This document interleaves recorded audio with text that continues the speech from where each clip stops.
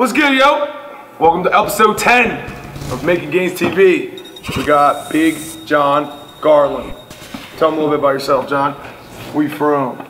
I was born in Houston, Texas, Everything is bigger in Texas. and then we moved to Lansdale, Pennsylvania, where uh, in 2000 when I was young, um, before middle school, and I've lived in Lansdale since then.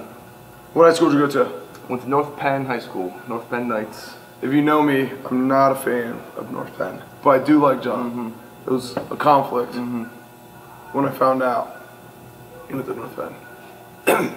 Where'd you go to college? This is an even better story.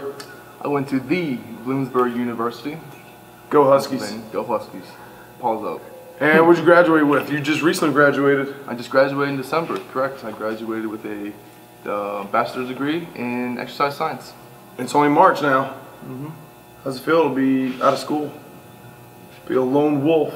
Well, it's kind of nice. I mean, I like working here, obviously, but uh, a lot less I mean, stuff you gotta do all during the day. But I mean, you keep it pretty busy here. Sweet. I don't remember my transition out of college. I feel like it just kept going. It's weird. you, go, from so little time to like all the time, and then when you start working, time goes away. Goes away. See you later, time. It's not yours anymore. time management. It's all about time. How long? How long have you played football? I played football since I was in seventh grade. I was always too heavy to play like midget football, like pee wee football. How much did you weigh in seventh grade? In seventh grade, I was probably about 230, 220. Nice. Yeah, I was. Drop. If I was to play before middle school, I would played with kids like three or four years older than me. So my parents just kind of held me back till seventh grade, and then I started in seventh That's grade. actually the appropriate age to start now, because for like brain trauma. Mm-hmm. So it's like, mm-hmm. you know, your brain's not developed enough to really start before that. Mm-hmm. So maybe you know why to save some brain cells. I think it worked out well. I think you were all American at Bloom, right? Yes, all PSAC, correct? There it is. Two years, All PSAC, one year. one year. Yes. Nice. My first year. So How much did you love playing football at Bloom? Awesome. It was awesome. Give me like your favorite game and then your favorite play. My favorite game was my freshman year. We played in the PSAC championship game that we won, and um, Against who? against Slippy Rock. Against Slippy Rock, we beat them at home. At home, that was pretty. That was pretty cool. Um, that was huge because going from a pretty winning high school career, going into that, it was it was just kind of business as usual. Business as Business as usual. what was um your favorite play? Like giant block? You ever like scoop a fumble for a score? No, I didn't. Big I didn't touch a ball in a game. I know I touched one because I was on punt team. And I, I did down one ball. That's not. That's not, that's not my favorite play. Um, one play was probably my junior year. We played California University of Pennsylvania. We played Cal, and brought, took us to overtime, 14-14 in their place. Um, defense came up huge, and we ran a stretch to the outside, pancaked the end, walked in, There it is. game See over. Game over. That's awesome. Did you just like flex on dudes you pancaked, or what was like? no, I helped them up. I helped Oh them my up. I was I was always that guy to like on film to like pick them up. sportsmanship. Mhm. So much I didn't talk a lot of trash. Like if someone came at me or my teammates, yeah, but I wouldn't I wouldn't go out like that. I help people John the gentle giant. That's so good. Because like you said, 300 pounds falling you. Probably feel a little upset. Let, let him up, give him a little break. But you imposed your will on another being. That's like the point. You know? Exactly. This place is gonna. How can you you know feel like the bird's just like. Well, I mean, I get a little pumped. Yeah, you see me dabbing sometimes, but uh, We're gonna find tape. fun to film. We're gonna find there- tape there's- pancake it- dab combo. it exists. It's there. It's there. I'll find it. I can't wait. I can't wait. Check out John's Instagram. Make sure you see the pancake dab combo. Mm-hmm. Cool. So you graduated from Bloom with Exercise science. exercise science, Exercise science. and now you work with us. Yes, I'm a trainer. I'm a coach here. You originally started with your internship. Oh yeah, I did. I, I Let's recap here- that. Interned here last summer. You came. You came like it was May maybe, was or did May. you come in January to Mid-May. come like interview? I can't really remember. No, because one day I came. I wasn't You just come. shot up one day. I think. just Was shot up one break? day. Yeah, it was spring break. Spring break. Spring break. So it was like Marchish. Mm-hmm. Great. I just remember thinking like, wow, this dude's a load. and he goes to Bloom and he plays football. It's kind of like immediately sold.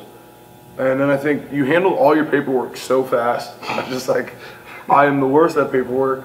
This guy got everything in immediately and like shot emails back right away. I was like, yep, this guy can intern for us. How'd you like the summer? It was awesome. It It was was, it was such an wasn't it? experience. It? was nothing like I've ever done before. Um, I've had other jobs, but nothing as engaging as you know this stuff is. I think the coolest part of your internship, this is the coolest, and I'm gonna say the second coolest. the coolest was, asked John, I said, how many more weeks do you have? He goes, oh, I was done two weeks ago. I was like, what? He goes, yeah, I, I, all my hours are done. I was done two weeks ago. I'm like, you just keep showing up at seven in the morning? He's like, yeah, I got nothing else to do. I was like, It's not that. wow, like this guy, either it's us or it's him, but this is a, it's a relationship that's got to grow. And I just, I was like, if you want to sleep in, like you can, you can do that. Just you know, we'll bring you in later if you want to come. Like, I was just, you know, completely flattered and like a little bit appalled, but uh, just like, wow, this dude is committed. Just two weeks ago, he was, you know, his time was up. You didn't have to come back at all, waste gas coming an hour away, and uh, that was uh, spoke volumes of your character and the, the young man that you were.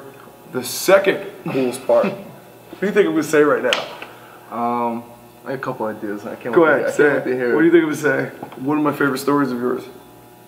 I like when I built that that rack. Me and you, you and Bigman built that rack. Shout out to that thing, man. It's the barbell rack. We had to recently retire it. retired, but that was big.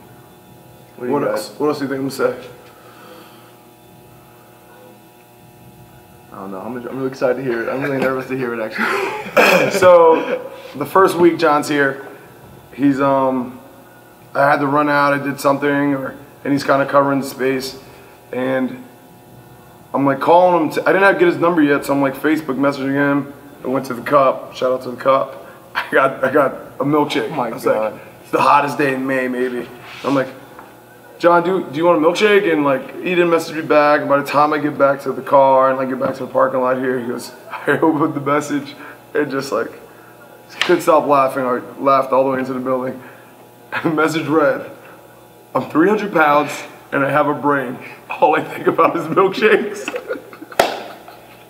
I immediately knew we had to find a way to hire this guy. And uh, he was a keeper just off of his, his love for milkshakes and working out. That's all it takes apparently.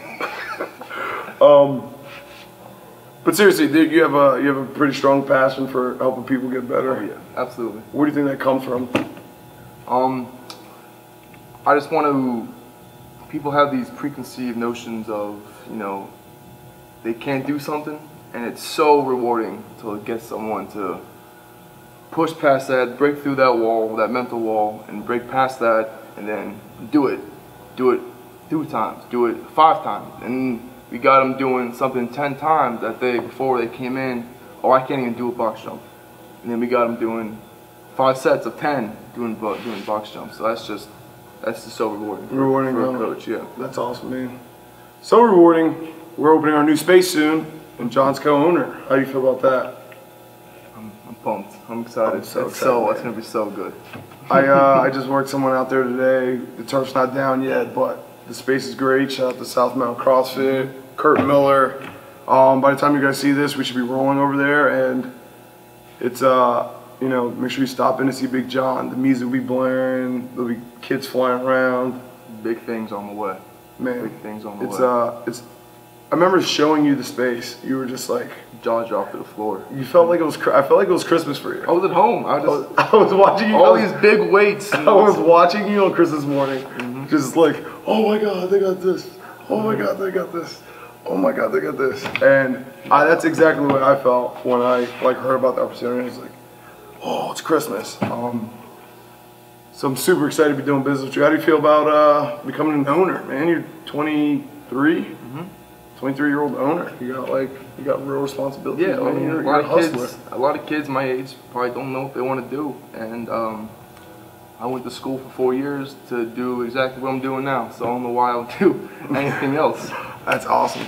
I think it was uh, like maybe a week or two ago, which I knew how much you love doing this. Like we were here together like eight hours straight or something, like nine. And you're like, it feels like it just got here. It's mm-hmm. like that time flies when you're having fun. Like people are like, how are you in there all day long? Like it just doesn't feel like all day. It's not work. like- it's, It's not, not really work. work. It's almost unfair. Mm-hmm. I feel Yeah, bad when mm-hmm. people come in and talk to us about how much their job sucks. I'm just like, it's like, bro, I got got nothing for you. Like I can't complain about my boss. Yeah. Because I, I am him. Cool. So um, tell us some fitness goals you got. I see you squatting and uh, cleaning and stuff, and getting back to being strong as hell. Yeah, my, my goal right now is just get back to my playing playing strength. Uh, it's been kind of I'm getting my body a little rest. I just stopped playing football um, about th- two or three months ago. So I want to keep give myself some time to recover, but I want to get back to that that strength because I was strong as an ox when I played. and now I kind of lost a little bit, lost step, but Strong AF. strong AF. What do you have, What message do you have for the Mettle Army and anyone that might want to come work out with us in the Allentown location? What do you think? Moment of truth. Moment of truth. Let's go. You ain't gonna make gains going to like a Max Fitness or a uh, You Globo, gotta say with some juice now, a John. Globo gym. You gotta sell us. You gotta make us believe it. Don't you whisper on YouTube. The thing about us is we got coaches here that are gonna be on you if you're not doing something right. Make you the best that you're gonna be, that you possibly can be. All while having fun, you know. Me and Andre are all about having fun. I think that what's, I think that's what keeps us apart from the other kind of bigger corp- corp- corporate gyms. And uh, if you want a great workout, come on by. Come on by and see us for sure. Sweet. Keep making gains, Big John. You guys can also catch him moonlighting with the Amish Outlaws, singing, rapping at Musikfest.